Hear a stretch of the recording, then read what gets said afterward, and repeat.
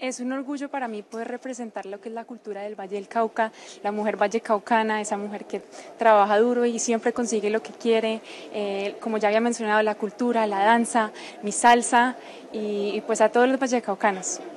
Es un, es un orgullo muy grande para mí estar aquí parada frente a todos ustedes. ¿Ha decidido usted apostarle a la juventud, a las niñez, el pilar de, del futuro? ¿Por qué razón?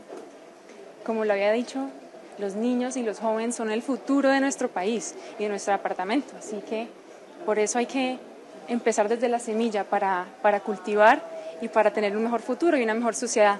Bueno, señorita eh, ¿qué mensaje le darías a las mujeres que están representando o quieren representar también al Valle o en un futuro? Que luchen por sus sueños. Yo, esto para mí no, eh, siempre ha sido un sueño.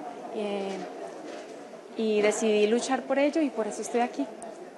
¿Qué la motivó como tal a querer representar al Valle en el 2023? Bueno, haber, haber visto a mi hermana y todo lo bonito que hizo en su carrera, dije, yo también quiero marcar mi huella y por eso estoy aquí representando al Valle. Cuéntanos cuáles van a ser esas estrategias para llegar a todas las juventudes de los niños. ¿Qué tienes pensado? Seguir trabajando de la mano de diferentes fundaciones que trabajen con el con el, trabajo social, educativo y emocional de estos niños para desarrollarlos y para que tengan herramientas de vida y que busquen un mejor futuro y una mejor sociedad. ¿Qué ha dicho tu hermana sobre este reinado? No, pues mi hermana está matada. Ella es mi fan número uno, ella me apoya, ella es una coach, ella es mi mentora. ¿Qué mejor mentora que Gabriela Tapurnadel?